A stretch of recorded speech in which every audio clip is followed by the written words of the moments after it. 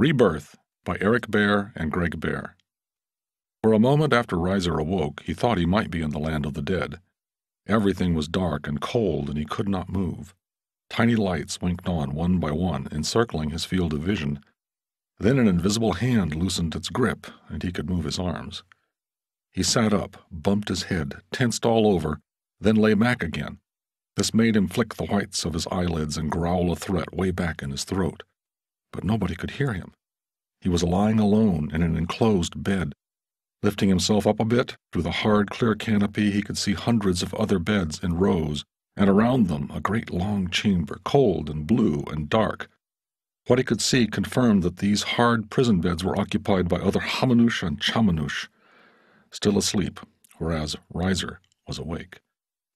Slowly, reaching where he could to scratch, checking out skin and fur and ribs and upper legs, he remembered where he was in the belly of a Forerunner skyboat. Forerunners took us from the Great Ark, said it was the only way to save us, to save everything. How do you feel? a voice asked. He jerked, then looked to his left and saw a female Forerunner. She bore some resemblance to the life shaper who came in dreams, but she was not that one. No one else could be the lady. The canopy of the bed opened. Riser climbed out slowly, with great dignity. This was serious. He had to show strength and calm. He had to be careful.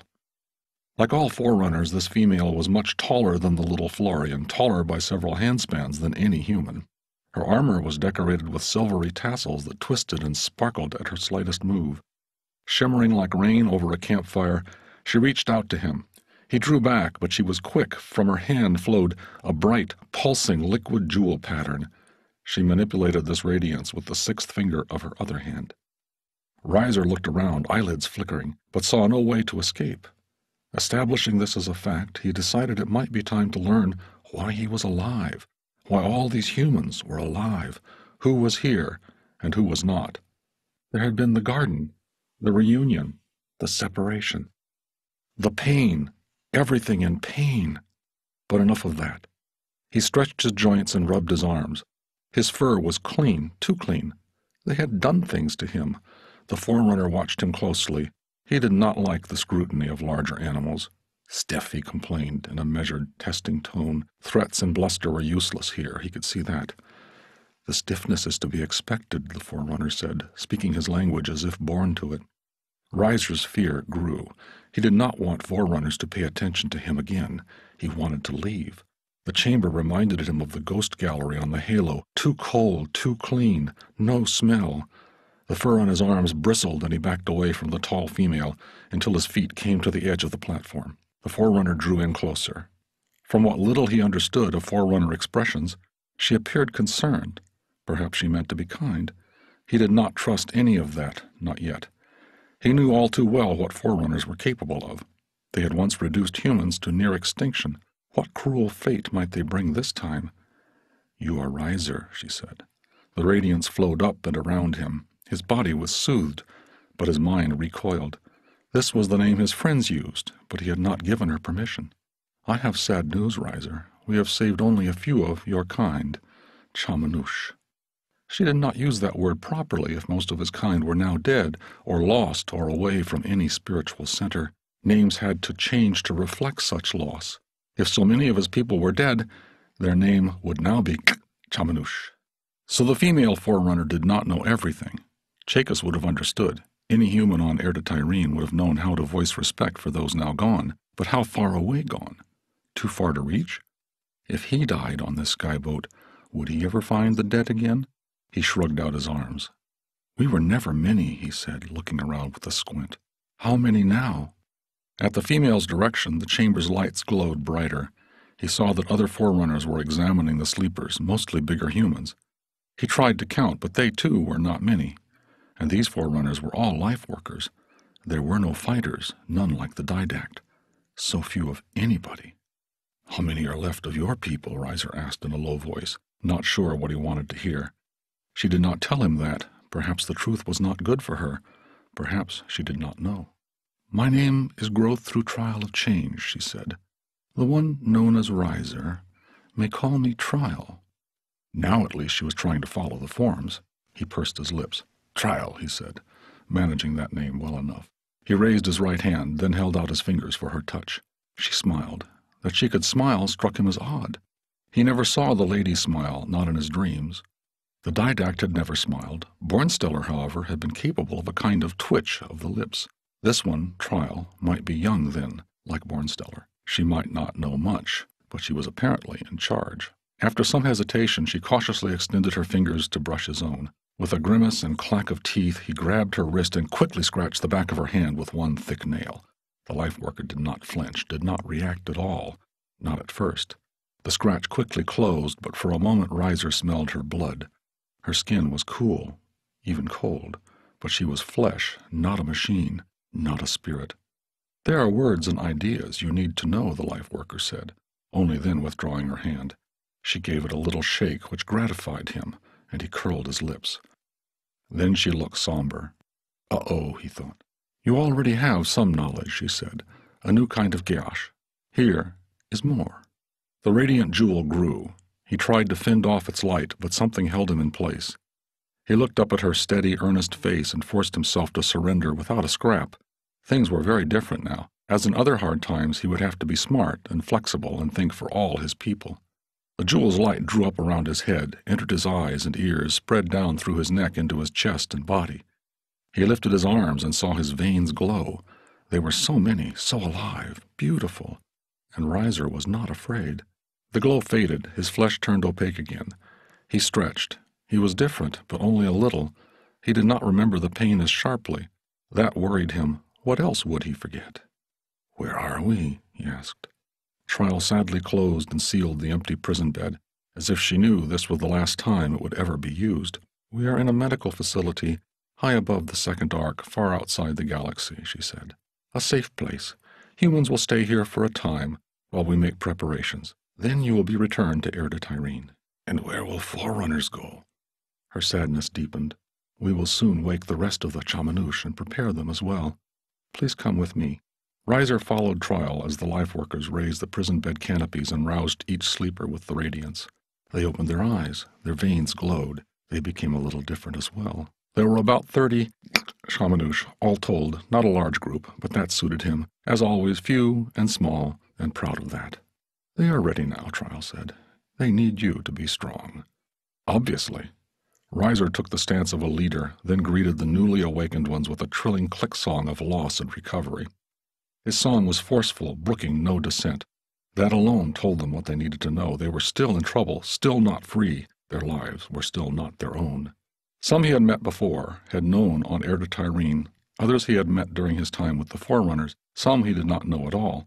They all seemed awed to be in the presence of the life workers who so resembled the lady who came to them before birth. But that one was not here.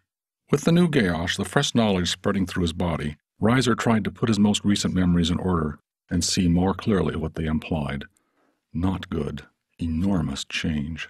When the great skyboat arrived at the Ark, life workers gathered all the humans and guided them through the immense cavernous hold to a waiting cluster of smaller ships, round and silvery like fat fish.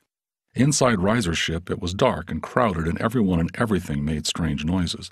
The Chamanush nervously held each other and clutched hands and softly cooed and trilled, Riser tried to calm them with his whistle chirp song. I have been in these moving places before, he said in that musical form. We can trust the life workers. They serve the lady. Everyone needed to be calm, so he told them what they needed to hear. The survivors looked to him for guidance. That he was used to. He had run the city of Marontik, large parts of it once.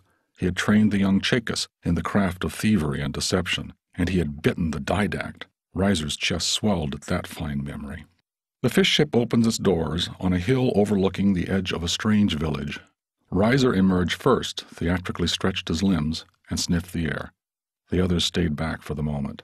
Clusters of metal huts had been arranged at haphazard fashion along a shallow, twisty river. Smoothly trod dirt paths wound between the huts, but the air did not smell of animals or people, did not smell of breath and farts and sweat, of being lived in. The door coverings were also strange, woven of some coppery, shiny fiber, jarring and false. He chuffed. Typical. Forerunners had studied human villages and then copied them without understanding how they were used or what they were made of. They ruled the skies, but knew nothing of what lay beneath. The lands surrounding the village were also wrong. Tall, thin leaved trees he did not recognize rose up here and there, with no community, no enthusiasm. They were strangers here themselves, flowering bushes thrust from the thin soil, again like none he had ever seen before, their blooms poking out tufted yellow rods that swayed in the sterile breeze. Everything smelled too clean, too fresh, like just before a thunderstorm. The light was odd, too. He looked up at the sun, not at all like the sun he was used to, nor any of the suns he had seen since meeting Bornstellar. This big false light hung and pivoted on its side to cast nighttime shadows on distant lands. Riser wheeled about, dizzy, lands that rose up on all sides, like the petals of a huge, spiky flower, typically forerunner, false, immense beyond his ken, impossible. Next to the false sun, nearly obscured by that brilliance, he could make out dim swirling spirals that glowed with ghostly pallor like dribbled milk soaking into black mud under moonshine. These swirls must be very, very large and very far away. He had seen something like them on Erde-Tyrene. Some had called that glowing milk soak in the sky Heaven's River, and said it was the beaten down trail of all fixed and wandering spirit lights, but not the same, not at all the same, nothing familiar. He nudged Trial. She looked down at him. What is that? he asked and pointed to the swirls. The others listened closely. That is the galaxy, Trial answered matter of factly. His confusion was painful. You give me words, but I still don't feel them, Riser said. Around him, the others, his people, and the bigger humans, lost in hugeness, began to moan and then to wail. Trial looked around her, put on a stern face, and tapped her hands together. The wailing stopped. Impressive, Riser thought. She is not so young. That out there is all the suns and worlds we know, including the one you knew, she said. Where we are now, the Ark, is far outside that great spinning wheel of suns. There is no reason to cry out. You are safe here. We are safe here, protected from everything that has happened. Riser decided to give it a go. He stared up at the galaxy, working to understand better. The others watched him, some fearful, whimpering as he tried to absorb it. So great, so somber and dim and beautiful. From here, it might as well be a part of a dream a great spirit, a big other, was having in which he was only a tiny part. Maybe it was the lady's dream. He could live with that. He could live in the lady's dream. Then something in his head clicked, and the new geas brought forth memories both suppressed and new. The jewel's words and images rose up behind his eyes, and he saw, new for the first time, desolation. Villages deserted, farms abandoned, empty, roads stretching to empty houses, the great world scrubbed and swept out like plague filled huts. Everything he knew gone. Sad, crumpled bodies not even given time to rot. Dissolving, sinking into the dirt. That made him cry out. Not even bones to bury or burn. For a hot moment he hated them all. He hated the lady. He growled in his throat and his fur bristled. The others whined and trilled and backed away. Did they suffer? He hoped it was quick, one moment alive, the next gone. Not even dead, just gone. He wondered if all the dead could travel to the western lands without someone like him to sing their names and guide them. He could not imagine so many songs all at once. When his time came, when he died, would there be any left who knew his real names and could sing his song? the spirits who protected and understood him and intervened between them and those who walked but had never lived and those who had died badly. Would he see any of the good dead again, or were their spirits destroyed as utterly as their bodies? Could spirits die? Were they fading and decaying even now in that great spiral of suns and dirt places? An evil dream, everything upside down, everything eaten and defecated by evil things, dissolved, broken, lost spirits wailing in darkness, reaching out in agony, and Riser could not descend into the caves and learn from what was painted there, learn what to do. He writhed, spittle on his lips, as if he were mad. The others fell down and wept as well. Trial did not try to comfort them. They were reimagining everything, and that would take time, and it would be painful. Riser already understood this much. Without people, in that dim place of suns, the places of land and dirt and water. The animals that still lived might move in rats and mice, some birds. Vines would grow and climb over the walls, but the animals would not know their names or their places and would behave badly, and the vines would be weeds without order. This could not be the lady's doing, but it had happened anyway, and that meant the lady had no real power. She came to them when they were born, but her promise was a lie. Trial stood unmoving, watching, letting them feel and absorb.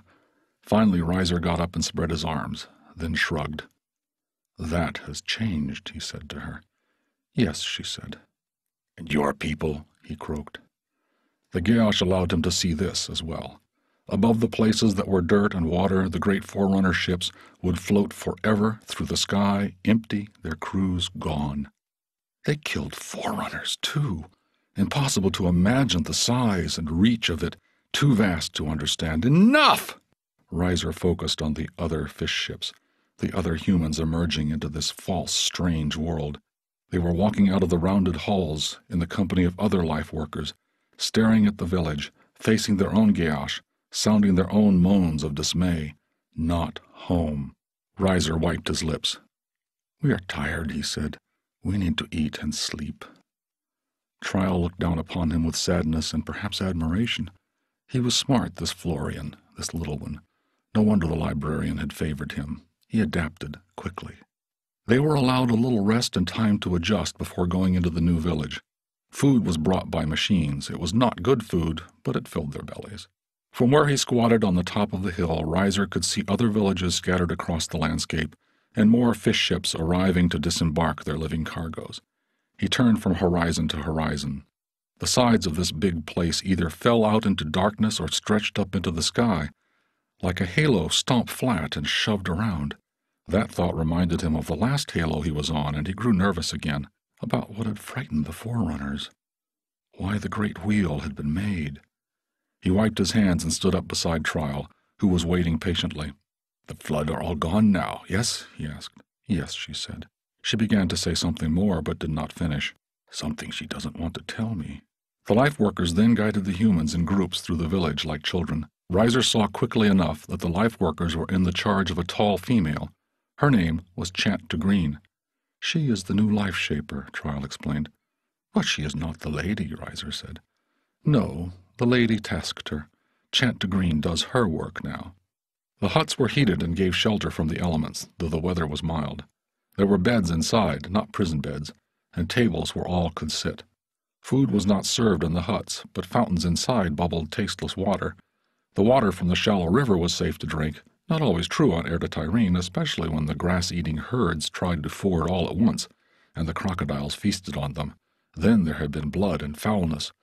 This river no herds, no crocodiles. Strange what one could miss. Larger buildings between the clusters of steel huts were filled with more low tables where food appeared when nobody was looking, more than enough food for everybody. No one would ever go hungry again, Trial said. She seemed to hope this might make up for other things. Forerunners had always imagined Riser and other humans to be little better than animals, happy enough if their bellies were full. All but the lady who had understood and was now he would sing a song for her when there was time. Riser sniffed at the food, but again, it was not particularly interesting. Nothing what he liked to eat at home. It was brown, sticky, lumpy, no insects or worms or small birds to liven things up. Full bellies, perhaps, but no happiness.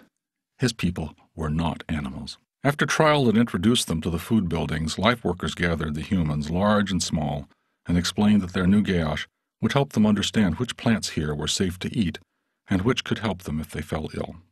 Riser sniffed again. That had been his specialty, teaching others the hidden uses of plants and herbs. These forerunners thought nothing of learning, only of knowing. A tall human asked about hunting. There were no animals in this part of the ark, the life workers replied. Chant to Green came then amongst them, listening and watching. He tried to catch her eye. She did not notice him. Not at all like the lady. She favored me. How long will we be here? asked another human, a tall, olive skinned, round faced woman of a kind Riser had not met before. Until things are prepared on Erde-Tyrene, Green answered, and until we are certain that the danger is over. Now she looked around, and her eyes met Riser's, and she smiled, or tried to. She knows who I am, Riser thought, and that thought made him chuff and rub his nose. Despite the explanations, the jewel words the Geas laid over them, the humans still seemed lost and afraid. They had been taken from their homes, dragged from everything they knew, and brought to this solid but unreal place. And so few! The Riser could not reckon larger numbers without using his fingers and toes, then counting multiples with taps on his teeth, he could judge vastnesses well enough. Even with all the other villages here on the Ark, there was no way these crowds could be everyone from Erde-Tyrene. That place had been much too big, with too many people, far more than he had ever met. Now they had been reduced to this. Did the forerunners calculate how many to take, how many to leave behind to be destroyed? How many had been lost to the flood, the shaping sickness? Trial and Chant explained that they would be living a ways away from the villages in a high tower jutting out of the side of a false mountain. A throne from which to watch their pets, Riser thought. Forerunners, arrogant even in their last days. But his position with regard to the new life shaper was softening. He wondered how much like the lady she would become given time. By the second wake cycle, life had settled down to a routine. The people had moved into their houses and gotten used to the brown lumps they were fed. They walked from village to village in hopes of finding absent friends and family. Usually those hopes were dashed. But Vinnevra was in the next village over, and when Riser found her, they embraced and then backed away, embarrassed at the display. Vinnevra asked after Chakas. Riser did not have the heart to tell her what he had seen. There were other races here, too, some strong and sinewy, others squat and broad. They were even the San'Shyuum he had encountered with Chakas and Bornstellar so long ago, many strange others Riser did not know the names for. A whole spectrum of races and peoples mingling, this was not so unlike the afterlife, after all. Many tears were shed in the huts by night, some from sorrow, some even now from fear. Riser comforted the other Chamanush and told them that the new lady would watch over them just as the old one had, even if he did not yet believe this. They needed comfort. The forerunners mostly kept to their tower. They said they needed time to plan the return. The night shadow from the rotating sun never quite fell across its peak, and it always shone with a bright silver glow against the black space above. When new life workers came down to the villages to be introduced to the surviving humans and to check on their health, the new arrivals seemed as lost and stunned as everyone else. Perhaps they had not yet received their new Geas. On the third day, a visitor came to Riser's hut. First, a vaguely familiar smell came through the coppery hanging.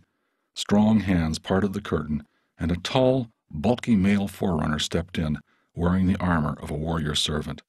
Riser's fur stood on end. Was this the didact? No. Visually similar, but the smell was very different. This one was. Bornstellar, Riser said, slowly raising an open palm in greeting, then even more slowly stretching out his fingers. You have changed. The forerunner delicately brushed Riser's fingers. But you are much the same, Morning Riser, he said, stooping slightly to fit beneath the roof of the hut. He knelt on the floor. Good to see you alive, said Riser, struggling to make his tone match the words. Too many dead. This new form, larger and more like the didact than what they had seen on the other ark, made him nervous. Far too many, Bornstellar said, and sighed deeply. You fired the halos, Riser said, keeping his face impassive to mask the anger he felt. There was no choice. Not at the last. It had to be done.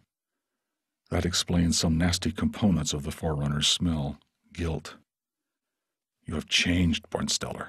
Where once I saw curiosity, now I see war. The Forerunners played with lives like gaming stones. You chose to end the game. Bornstellar closed his eyes and tinted his hands together. You've changed as well. You're speaking. The Geas. I am not Riser now. I, too, need a new name. Oh, you are still Riser, still quick to judge and judge true. Yes, I ended the game, he said. What we have left we owe to my wife. Would that all forerunners possessed her wisdom. Things never would have come to this. The lady? Riser grimaced at the concept, recalling his encounter with Bornstellar and the lady after the terrible events on the first halo. Difficult to imagine marriage to such. His marriages. But that way led to sadness. Is she still alive? Bornstellar hung his head. I do not think so brings sorrow, said Riser. The lady might still live in dreams, and in the past, his dreams had often been more real and beautiful than life. We have all lost so much, said Bornstellar. They took a moment to remember the absent. If you became the didact, said Riser, then perhaps your judgment was clouded by his, his hatred of our people. His spirit guided you, not yours. No, said Bornstellar. In the end, the choice was mine alone. And I would do it again, my old friend. He closed his eyes again, collecting his thoughts. Riser chuffed. Then on your spirit be it. Look around you. Pleased? I'm sorry, Riser. I would have done it another way, if it were possible. He rose and pushed aside the hangings, then paused and looked back into the shadows at the small form coiled there, bristling all over. I will be leading a ceremony soon. A sentencing. I hope that it will bring some justice, some finality. I would be honored if you would join me. Riser nodded. Punishment?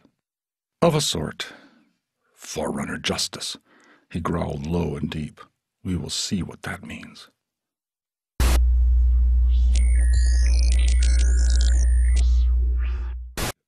In the seventh season, blue globes of light hung in the air above the villages. Singing and the beat of wooden drums rose from the hills. People talked and laughed in the streets and drank sweet berry juice squeezed from the bushes, fermented just enough to give it an edge. Even the forerunners came down from their tower and joined the humans. Riser had suggested the idea to Bornstellar. We should have a wake for the old galaxy and a birth feast for the new. The idea had caught on. All the villagers threw themselves into preparations. The forerunners consulted with the humans on what foods to prepare and bring, and ended up with a reasonable facsimile of a spicy vegetable stew. Riser could not convince them that meat, even in facsimile, might be better still. Humans prepared their own delicacies from the newer fruits and plants in the surrounding hills. The life workers were improving the landscape bit by bit with such details. The mood was strange, so much had been lost, and the pent up emotions quickly gushed to the surface as wild dance and howling songs filled with pain. The Chamanush sung a great epic of a warrior who many times tries to retrieve his love from the underworld, but never succeeds. Though the other Manush could not understand all the words, the message was plain. Life is passing, death is eternal. Remember the past, but honor it in the present. Eulogies and dirty jokes crowded against each other. There was crying and laughing, and sometimes both at once. Vinnevra met Riser again. They shared memories of their time on the Halo. Riser listened, aghast, and enthralled at what had happened to Chakas and Vinnevra and her father before he had rejoined them. As well, he told her his experiences. Others listened and spread word. Before the assembled crowd, with much encouragement, after Vinnevra was thrice rebuffed when she tried to escape, they ascended a scaffold and told their tale anew as a great adventure. Half drunk with the fermented juice, Vinnevra quickly caught up with Riser as he sang and whistled and chanted. Pushing back for a moment the horrors they experienced, they piled wild tale on wild tale, all of it true, if embellished in the moment. We face ten thousand twisted monsters, Vinnevra cried, an army of diseased flesh, and leading them, a god beast three hundred hands tall, all part of the schemes of the master builder. May he be forever eaten by flies! She spat on the dirt and ground it under her foot. The audience roared. From dozens of meters, surrounded by the raucous humans, Bornstellar and Chant to Green listened. She touched his shoulder. Brave friends, she said softly to him. The greatest of friends, Bornstellar said. Then we were prisoners in a village of ghosts, said Riser, with the wolf moon coming closer, so close. Bad forerunners wanted to make everyone into ghosts, but I tricked them. I freed Chakas so Chakas could save us all. Only the spirit inside Chakas could stop the wolf moon. Vinnevra looked far away in remembrance of their lost friend. Riser took a cup and filled it to the brim. Remember Chakas! He raised the cup over his head in toast. I have never met a Hamanush so brave. May his spirit eternally watch over us and keep us safe. Bornstellar and Chant raised their cups high as well. Another warrior servant, aide to Bornstellar, took a deep swig, then pursed his lips and violently spat out the bitter juice. Everyone laughed, then fell silent as they saw his foreboding scowl. The warrior servant, at a glance from Bornstellar, wiped the juice from his lips, snorted an approximation of laughter, and took a deep stage bow, and everyone laughed again. The tension was broken. Forerunners were gods no more, just people like the rest of the Manush. The humans tried to bring them into their dances, teach them songs, and watched with humor as they awkwardly mimicked their smaller, lither companions. The festivities went on well into the night. The sun was just beginning to rotate back around the disk, a pale golden light touching the nearby hills. Most of the revelers, the mourners, had already sunk down in sleep. Riser sat in the branches of a tree at the far end of the village, watching the river lazily run sunward. Can I join you? said a voice from below. It was Trial. Riser nodded and patted the branch. She climbed the tree, pulling herself up the branches with surprising grace for her size, and sat in the crook of Riser's branch, dangling her long legs against the trunk. You know, she said, humans and forerunners were always meant to be brothers, not to fight like we did. Brothers fight too, said Riser. I never had siblings, said Trial. I had a brother, said Riser. When we were young, we would wrestle to see who was strongest. He was older, and usually he won. But when I got older and won, I never let him forget it. What happened to him? asked Trial. Riser shrugged. His bones are mush or ash, I suppose. You are strange for a human, said Trial. You get along so well with others.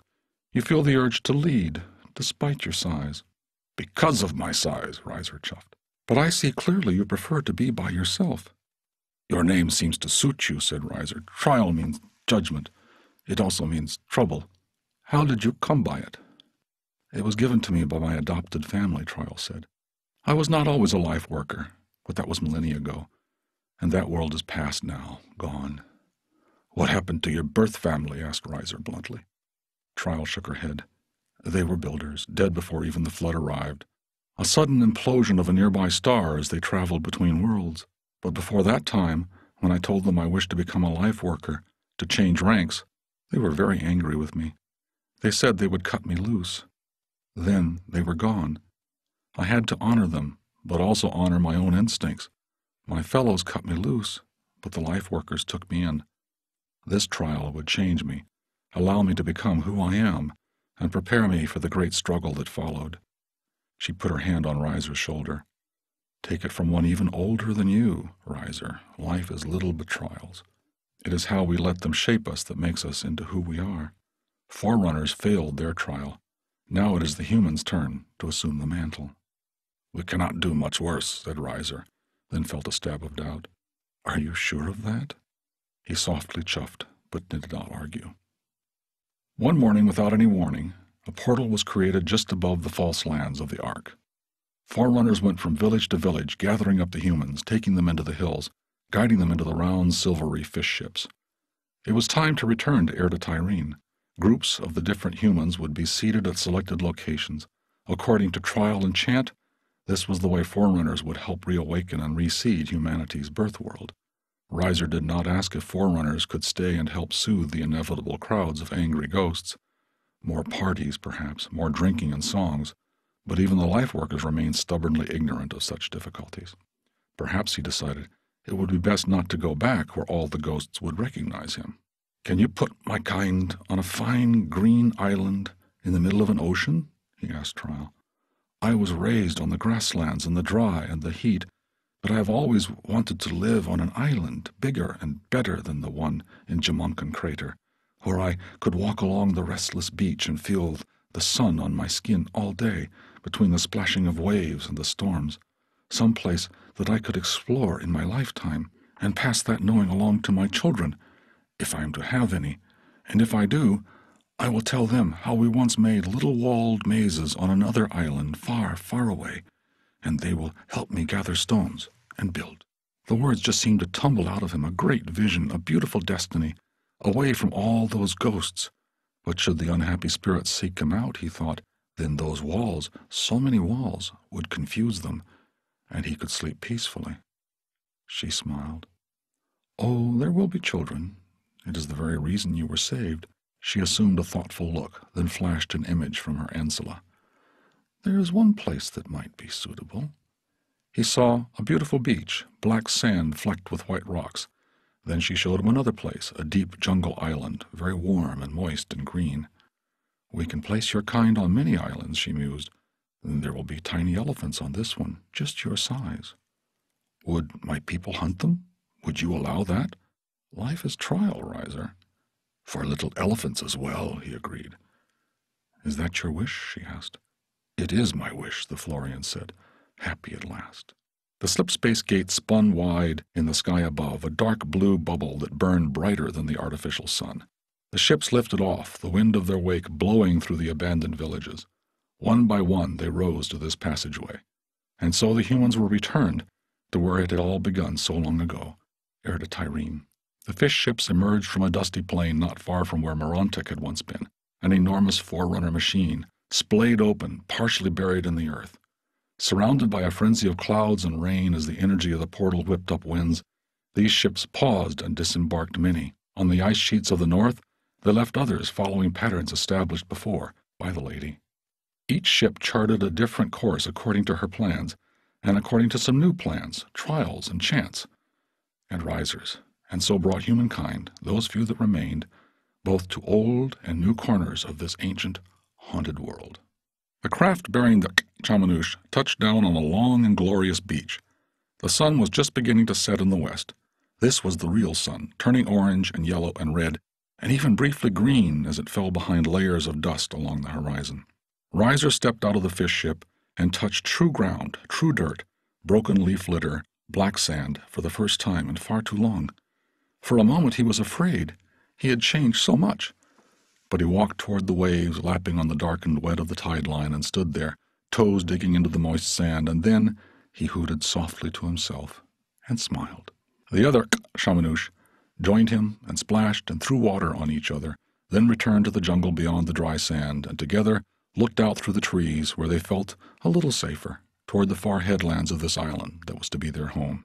It was deep green, with ridges of rugged mountains, warm and moist, and inland a very tall, broad mountain lorded over the sky, and Riser fancied that he saw some snow there, very high up. Here and there they could all hear waterfalls. This would be a good home, said Riser. Yes, another agreed. Trial now stepped down from the fish ship, so much taller than the diminutive crowd at her feet. Bornstellar emerged behind her, taller still, but looking more humble, more human, if that was possible. I'm glad you like it, he said. The life workers have done very well. I wish you all the best of lives. Our ways must part now. We will not meet again, not in this world, young Riser. Riser chuffed at this slur on his age, then cocked his head to one side, approached the pair where they stood beside the fish ship, and held out his fingers. Without hesitating, Trial brushed them, then Bornstellar. We will do what we can with what we are given, Riser said. But what of you? Where will the forerunners live? I do not know, Bornstellar said. Not yet. All I know for certain is that we cannot return to these places. We have already too much in the affairs of others. Riser grimaced. Forerunners refusing to meddle? Is that a promise? a promise, Trial said. Truly, this will be a different place, Riser said. The portal will stay, said Bornstellar. Ah, then you have lied, Riser said but with no anger or surprise. It will be buried to be found when needed. Perhaps one day your children will make their way back, and I hope meet our children. I doubt even I will live long enough to see that day, said Riser. But it is good to think our young will rise to another challenge, as brothers should, making trouble, finding strength. Bornstellar felt this deeply, and even with his armor to protect him, the emotion was almost too much. Hope, was all he could say. Then they returned to the fish ship and left the humans alone to find their way. From his place in the trees, Riser watched the Forerunner ships depart over the ocean, over the horizon, into the final red glow of the sunset. Then he climbed down and gathered up his people to begin exploring. It didn't take Riser long to realize that they had all lived through a long and very strange dream. In their dream, humans, forerunners, everyone in the galaxy had been stripped of their worldly might and bluster and made to come together as one. Could that have truly happened? He chuffed and walked ahead of his small group. The small, lovely men and women whispered like passing breezes and sang like little birds, showing how delighted they were to be free, to be alive. Soon enough they would lie down and make young ones. This was a very good place for young ones. Perhaps it was time to welcome the ghosts after all. He would have his people build walls, not to confuse, not to shun, but to guide the ghosts, to help them remember where they belonged and who still honored their memory. It was time now to awaken, to live again. He took a clump of earth in his hand and squeezed it hard to reassure himself that it was still real. There would be war. That was inevitable. People would kill each other. There would be suffering and cruelty, and people would forget those past sins and live out new ones. But despite all that, life would continue, and the dead would return and be met with joy. Riser released the dirt of the earth, let it fall from his grasp, and blow away in the wind.